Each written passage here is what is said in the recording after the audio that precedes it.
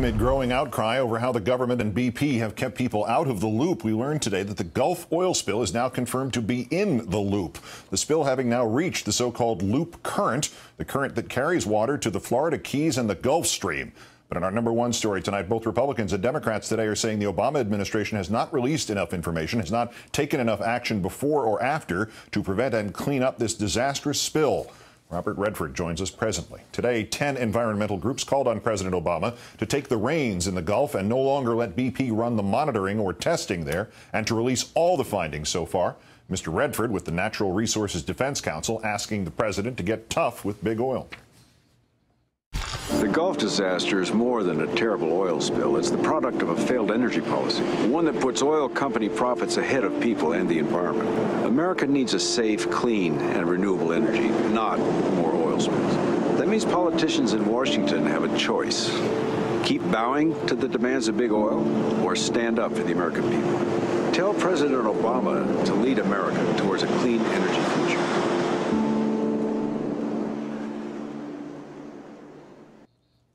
BP is preparing to try a new capping method, it says, called Top Kill that would smother the surge in heavier material and then seal it with cement. Well, the administration has downplayed reports of an underwater plume resulting from the spewing oil, telling Huffington Post it believes most of the oil to be on the surface, and the researchers who have found it reportedly have been told to stop speaking to the media. The blog Fire Dog Lake has now turned up a 2,000 field test by the MMS along with big oil, including BP. It shows they knew deep water spills could lead to massive submerged plumes of oil because oil and gas behave differently at depths of great pressure and low temperature.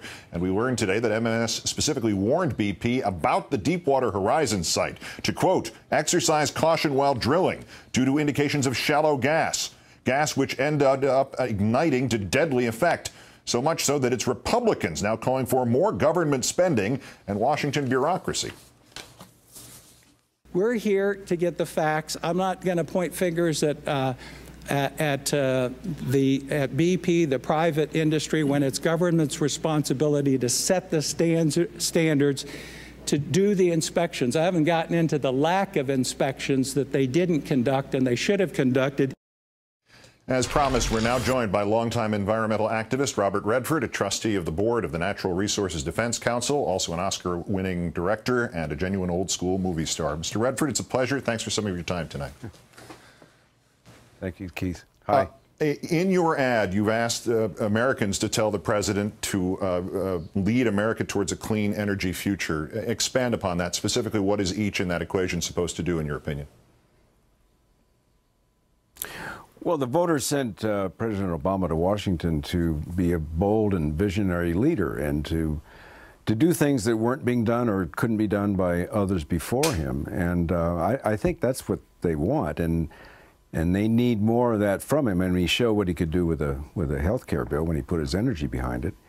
Uh, but in this case, I, I, think you know we don't need a, a disaster manager. We need a leader. Somebody's going to look ahead and see problems before they arise, before they become catastrophes that cost money and lives and well-being and so on.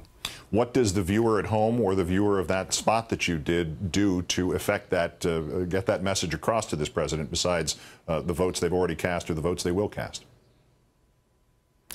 Well, first of all, I think this is a great time to, I mean, there's a kind of a, a a wisdom around D.C., you know, a political wisdom that, uh, particularly with people that are more interested in preserving their, their seats, um, that this is not a time to have a bill, an energy bill. You know, there's too mm. much going on. There's an immigration, so on. It's a midterm year and so forth. I think wrong. I think now is exactly the time because the American people are really focused on this.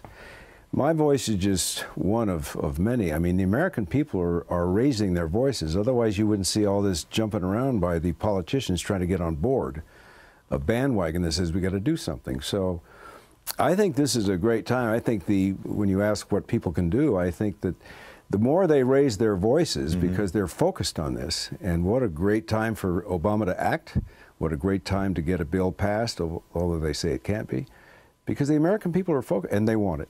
I believe that. Yours of these voices, yours is an informed voice. Can you explain where you would stand on this newest call for what would seem to be an automatic process here that the government should be taking over the complete operation in the Gulf and not leaving this to BP to clean up its own spill that it hasn't even stopped yet? Well, yeah, I mean, you've said it. I mean, the fact is that, I mean, I think it's pretty obvious you can't you can't expect BP to police themselves, nor nor most of the oil companies. You know, you look at Valdez and in uh, look at Santa Barbara and Brittany and so forth. I mean, in all those cases, uh, they were policing themselves, and look what happened. So I think that's that's a, a gone issue. I think there has to be more transparency. There isn't. I think the American people deserve more transparency. I think the government, including the administration, and certainly BP, although I wouldn't count on it, mm. but I think there has to be a lot more transparency uh, for us to get the facts of what's really happening. What, what about the tests and so on? You drew a, line in this in this spot between uh, the the spill and the failed energy policy, and I think that that does kind of cut to the chase here, and a lot of people aren't seeing that forest for the trees. But when you talk about the failed energy policy, is that 2008's failed energy policy, or is it 2010's failed energy policy? Well, I'm actually talking about a failed energy policy that goes back 30, 35 years. Mm-hmm. I mean, I think we've had either a non policy or a poor policy all that time. I mean, in the early 70s or in the 70s, there was an attempt to get off of a, a policy that would get us off of fossil fuels and, and focus on clean renewable energy. Um, it didn't pass, and I think we're now paying that price.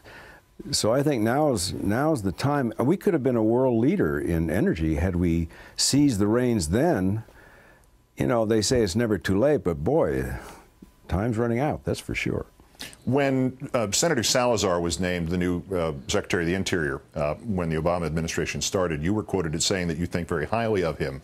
What did you think of uh, his reforms or the lack of reforms that he effected uh, prior to this spill? It seems like he's been trying to play catch up here. Is that a fair assessment? I mean, it's obvious people tend to throw out the names of potential scapegoats uh, every day in something like this, but is there is there some blame to be placed yeah, at his right. doorstep?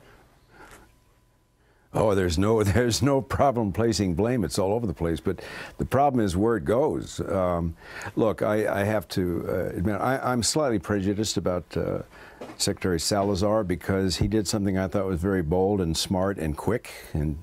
And that is the, you know, my interest is very strong in wilderness areas and mm -hmm. protecting wilderness and western lands. And there was a sneaky move made by Bush uh, the night of the elections when he thought nobody was looking, or the administration thought nobody was looking. They tried to open up 350,000 acres uh, for oil and gas leasing in and around national parks and monuments and wilderness areas. So Salazar stopped it, and I will be grateful to him for that. Then, of course, we've just seen recently, uh, you know, whether anybody's slow to the game or not, I, I don't know, but we've seen that he's focused on the Mineral uh, Management Services Agency and, and their failure, and certainly they've proven to be not only corrupt but ineffectual. And he's already taking a look at that to decide what needs to be done to reform that agency uh, within the government. So those are two moves that I think are, are good, and um, the rest of it, I don't know. What do we do about uh, drilling in the immediate future? Do we need a shutdown until there are more uh, emergency plans in places for things like this when they happen next time?